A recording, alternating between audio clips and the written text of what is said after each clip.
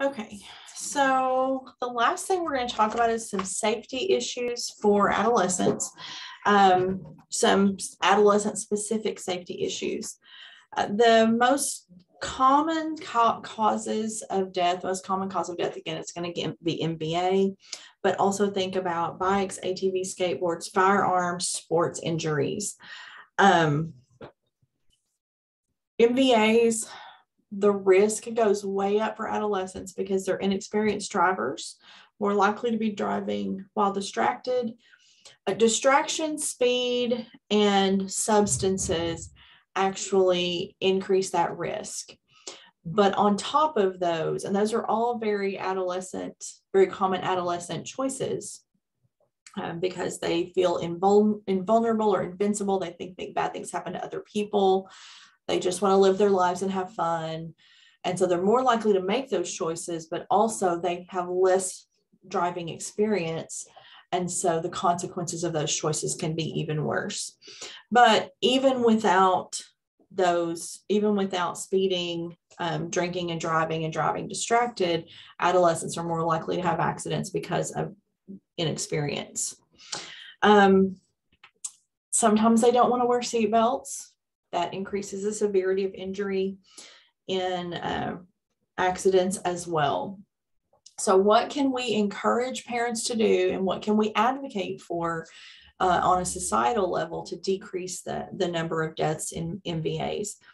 Um, we really want to encourage no questions asked rides, number one. If kids get into a situation where they've been drinking, their ride has been drinking, do they have someone they can call and get a safe ride home without getting in trouble? Um, because that's really going to decrease that risk. Um, we also need to advocate for supervised practice before they drive alone. Um, they need to have more experience before they drive with passengers. So just increasing that experience level.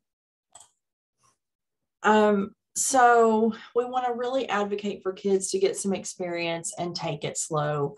Um, it's hard to counteract that idea that everything happens to other people, but if we can help them understand that, um, that's really helpful. Uh, bikes, ATVs, skateboards, they need helmets firearm injuries, um, firearm injuries can be intentional or unintentional. Um, and that the unintentional can be self-inflicted or inflicted on others. Um, adolescents are impulsive and if they have a gun available that increases the risk of successful suicide. Sometimes um, suicide attempts in adolescents are Im- are impulsive and if we can get through that initial impulse then um, that um, risk is decreased. So the presence of a gun actually increases that risk. The same thing goes for homicide. If kids are um, in conflict if there's a gun available the risk of homicide increases. Adolescents also need um, if they're going to use a gun, they need education in gun safety and they need really strict guidelines um, for when they're going to be used. We live in a hunting culture. A lot of kids in where we live grow up with guns. They own their own guns by the time they get to middle school. They hunt, they may be hunting independently or with friends by the time they're in high school. They need lots of education and they really need evaluation. Not every child is mature enough to safely carry a gun and go hunting. And that's something that families really need to be evaluating. Guns in the home should be locked up separately from ammunition. Um, sports injuries. Adolescents get closer to adult size, and so the injuries become more severe. If there's a really wide size variation, that increases the risk. So think about a 12th grader and a ninth grader and how big a difference there can be in size. So that increases the risk. So we have risk of more serious one-time injuries. Um, and there's also a greater risk of overuse injuries because as they get more serious about the sport, they may be spending more time doing that same sport and um, overuse those muscles and joints. Uh, we need to teach uh, kids to use proper safety equipment every single time.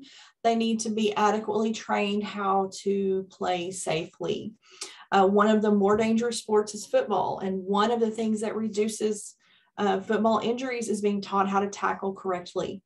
Incorrect tackling is a cause of, um, of C-spine injuries. Okay, so they need proper safety equipment, they need adequate training, and they need coaches who are adequately trained for safety. Um, we also need to talk with kids about traumatic brain injury and cumulative brain injury. Um, we need to really be protecting kids' heads, helping them avoid impacts to their heads. Um, another safety thing to consider is tanning, and tanning kind of go comes and goes in popularity. Currently, I know that my daughter's friends are more likely to use spray tans, which are much safer. But in a tanning booth, in using tanning booths um, or beds with UV lights causes premature aging, skin care, and some patients have phototoxic reactions. So we want to really discourage that. Um, two things we're not talking about in this lecture because they come up in the mental health lecture are substance abuse and eating disorders. But both of those frequently begin in adolescence, if not sooner. Okay, that's the last adolescent lecture. The final thing we'll talk about is young adult development, and that's going to be really short.